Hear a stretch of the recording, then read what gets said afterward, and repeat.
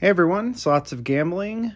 Hope you had a good new year and a good holiday. And if you went to the casino, hope you won a bunch of money.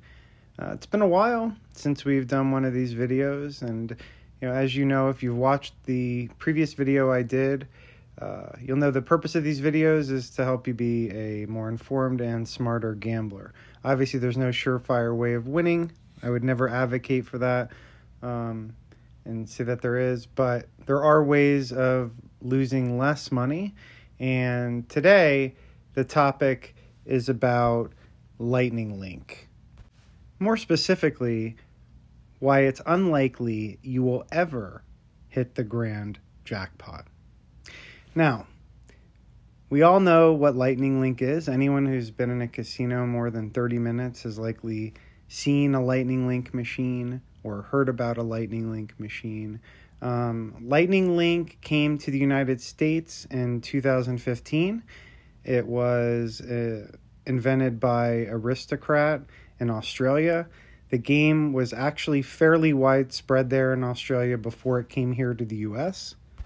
I want to say it was in Australia for about two years prior to it getting here in the United States. And basically, ever since it's gotten here, it's become wildly popular. Um, they're just everywhere. Uh, you go some casinos. Uh, there's actually one in Oklahoma. Actually has a Lightning Link casino where like the whole casino is just Lightning Link machines. And there's a very good reason why you see these machines everywhere. And here's a clue it's not to make players or you money, it's to make the casinos money. These are some of the most profitable machines that casinos have ever seen. Uh, short of the IGT Wheel of Fortune theme that was pretty prevalent in the 90s and uh, throughout the 2000s up until about like 2000, you know, 12 or 13. Um, the reason you see so many of these machines is because of the top heavy grand jackpot progressive. Um, they're attractive to customers, and uh, the average person who doesn't know a lot about gambling um, really is keen on the chance of winning 10 15 20000 dollars on a 50 cent bet when I first saw these uh, about five years ago, I have to be honest, I really wasn't that impressed with them. I felt that these machines were kind of boring. The whole idea of collecting balls with varying amounts, um, you know, just to me wasn't something that interests me. I'm more into the themed games, I'm more into the, you know, flashy stuff that is fun to play. These games seemed kind of boring.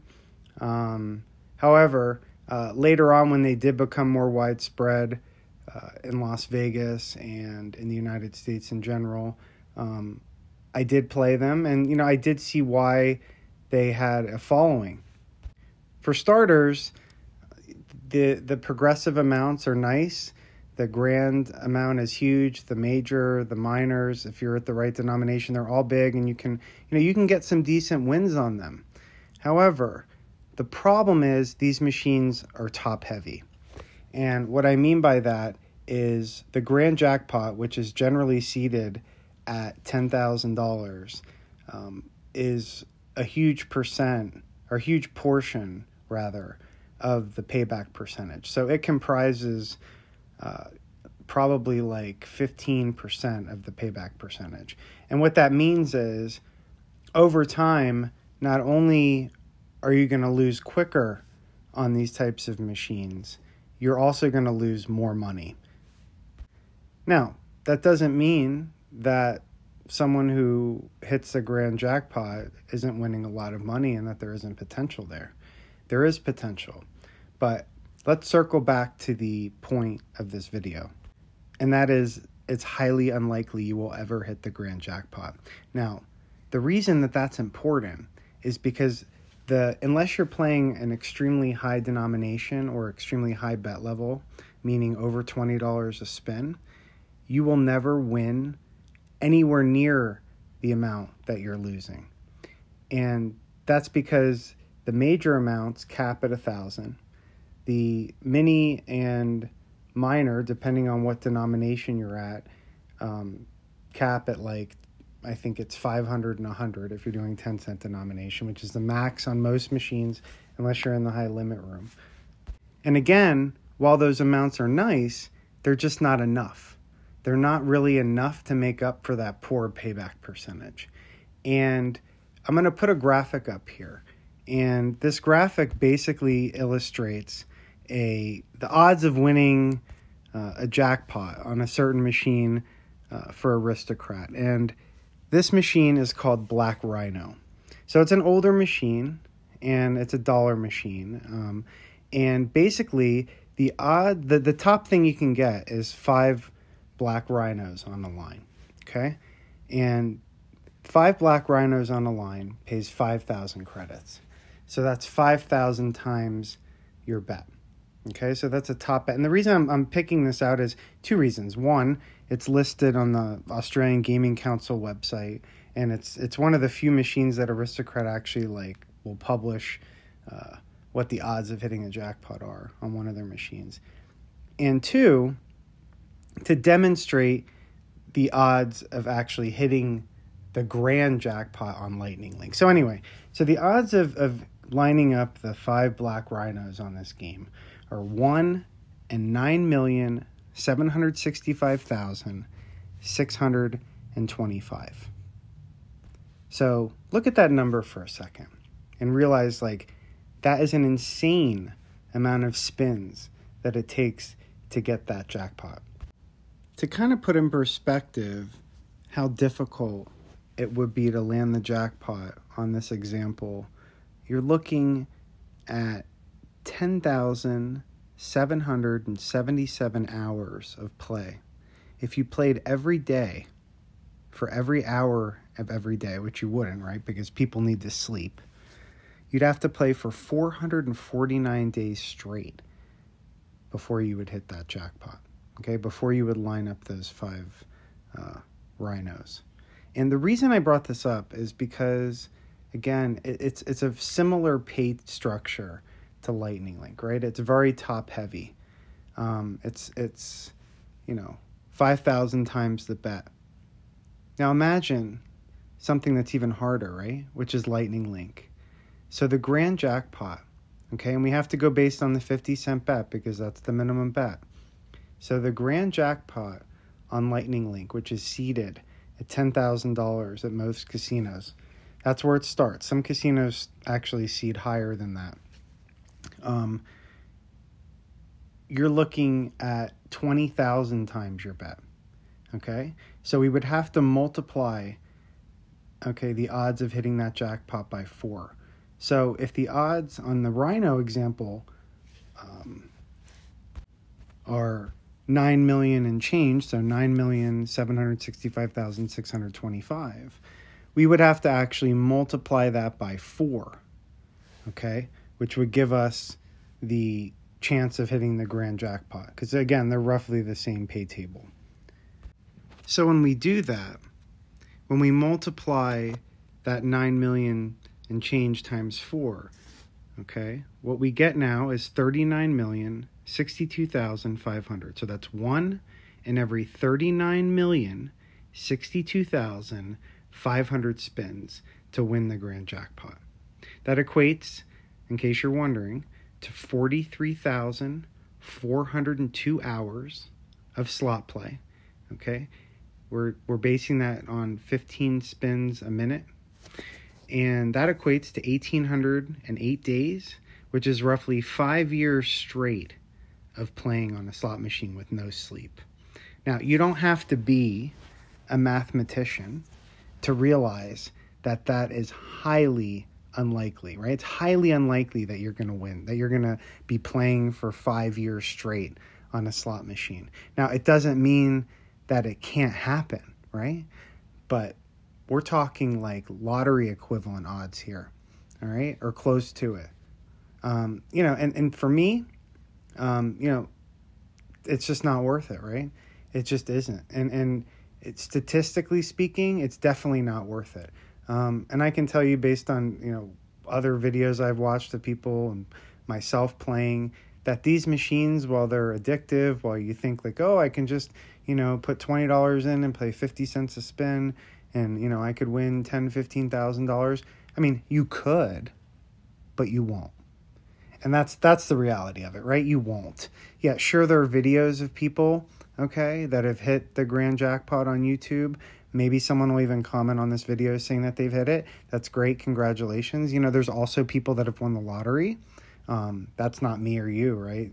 So, you know, just because someone has won something doesn't mean it's likely that you're going to win it. And the thing is, I think most of us play slots because we kind of enjoy playing them, right? It's fun to play them. We don't go in and expecting to solve all of our problems, you know, unless you happen to sit on a megabucks machine, right? Then you're like, oh, maybe, you know, like I could solve all my problems. I'm going to win $10 million. However, the prizes on these Lightning Link machines don't link up, pardon the pun, with the top with how hard they are to hit. So for some for a ten thousand dollar payout, you wouldn't think that it would be like one in forty million. You would think it would be like one in a couple million spins. Um, but going back to why these are so popular for casinos is if you translate those that forty three 1 in 43 million spins, that 43 million spins, and you say it's 50 cents a spin on average, and we know people bet even more than 50 cents a spin. Um, you're looking at a slot hold at a 10% slot hold. The casinos are making $2 million, okay, in slot hold for every grand jackpot they pay out. Think about that for a second. They're making $2 million for every $10,000 or whatever, 12,000, whatever it ends up hitting at grand jackpot that hits. They're only seeding it at 10, right? The rest of the amount is being contributed by the, you, the player.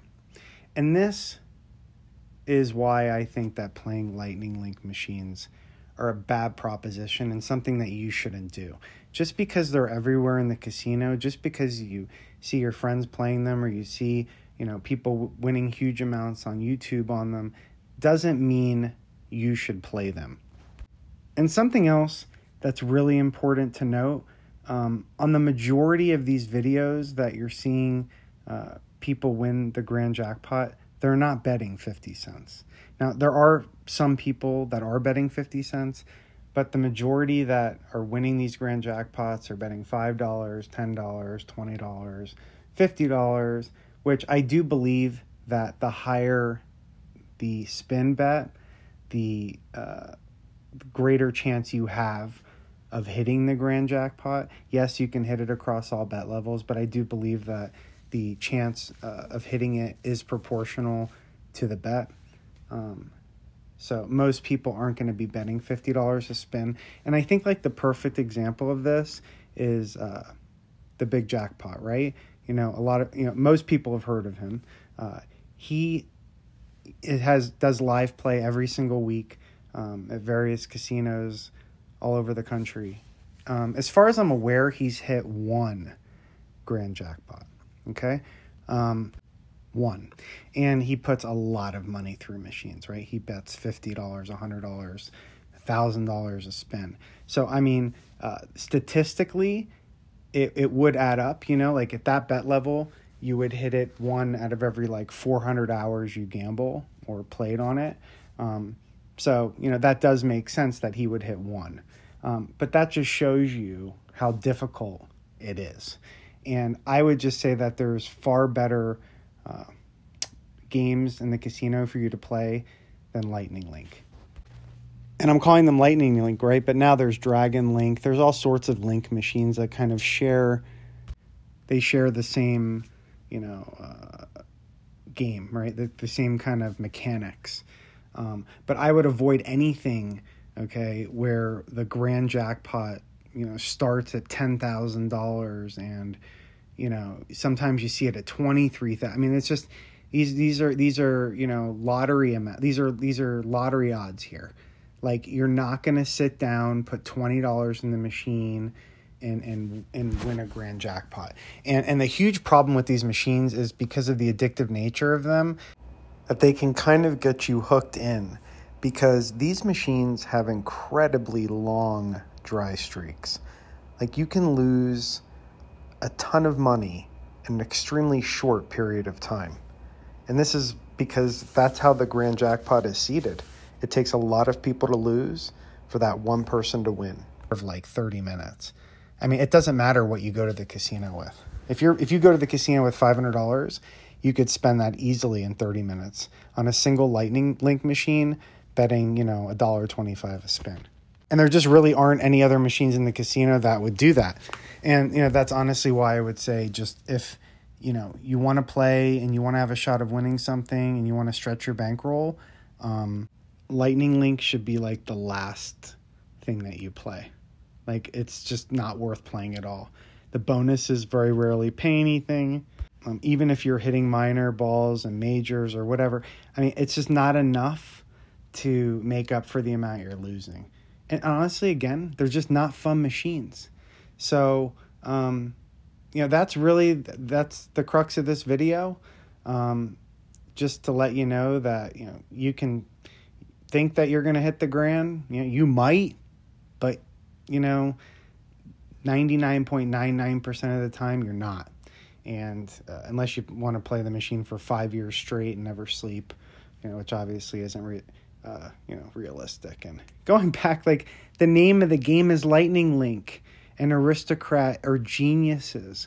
And they probably came up with that name because they said, hey, you know, you have a better chance of getting struck by lightning than you do hitting the grand jackpot on this machine. And with that, that's it. Um, I'd like you to like and subscribe if you enjoy uh, the content. And we're going to be doing future videos uh, similar to this to help you, you know, keep some of your money and maybe even win some extra money. So, anyway, it's lots of gambling, signing off, and have a great day or night wherever you happen to be. Bye bye.